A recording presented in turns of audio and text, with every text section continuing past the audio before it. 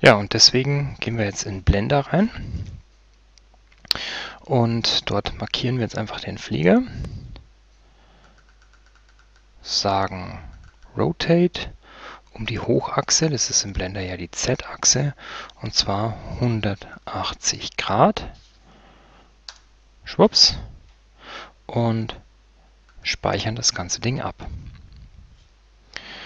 So, und jetzt gehen wir in die JMonkey Engine rein. Hier sind unsere Models.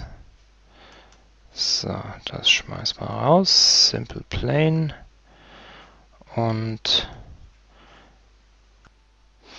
so, in diesem Video möchte ich mal ganz kurz auf das Problem der Achsen eingehen.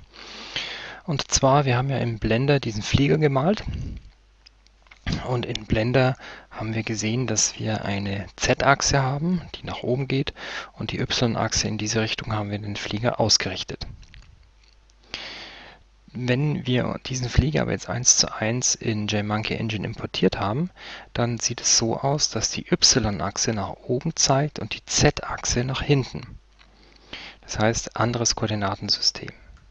Von vorne angeguckt ähm, sieht so aus, dass wir ähm, die Y-Achse natürlich wieder nach vorne im Blender und die X-Achse jetzt hier von der linken Flügelseite zur rechten Flügelseite haben. Und in der JMonkey Engine wieder Z-Achse in die Gegenrichtung, aber X ist identisch. Von, von vorne ergibt es dann im Prinzip wieder das, was wir ohnehin schon bei den anderen gesehen haben, Z nach oben, X in diese Richtung und bei JMonkey Engine Y nach oben. Wenn wir uns das Ganze jetzt nochmal dreidimensional anschauen, dann ist das jetzt unser Blender-Koordinatensystem und das unser JMonkey Engine-Koordinatensystem. Ähm, das ist grundsätzlich jetzt mal kein großes Problem, weil die Y-Achse äh, oder weil die ganzen Achsen tatsächlich übereinstimmen, mit Ausnahme der Y-Achse Blender und Z-Achse ähm, von ähm, der JMonkey Engine. Die sind unterschiedlich. Und ähm, da haben wir jetzt eben das Problem, dass wenn wir das Flugzeug genau so ausrichten, wie wir es jetzt sehen, in der JMonkey Engine es eigentlich falsch rum dasteht.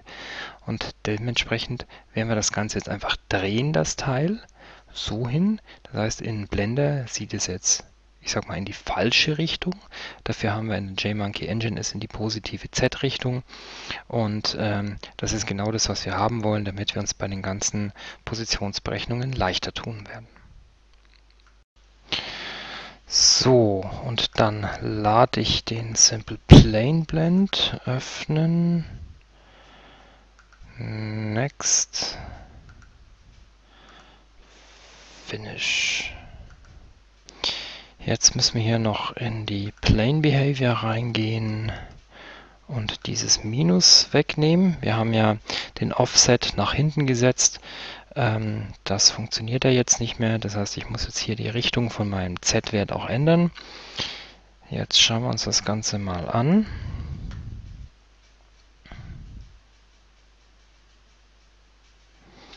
Ja, das sieht doch ganz gut aus. Ich drehe das ganze Ding jetzt, also ich rolle und es funktioniert auch wunderbar.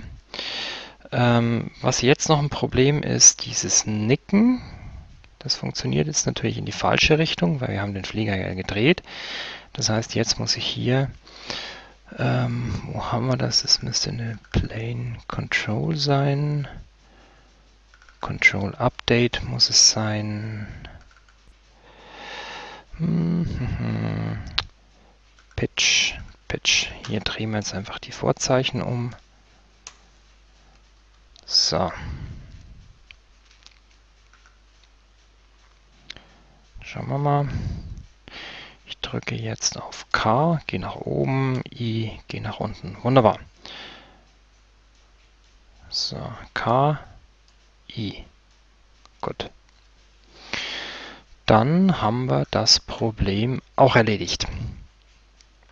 Gut, dann wird es im nächsten Video dann um die Bewegung des Fliegers gehen und das, ja, mal gucken, wann ich Zeit dazu finde. Bis dann, viel Spaß beim Nachbauen.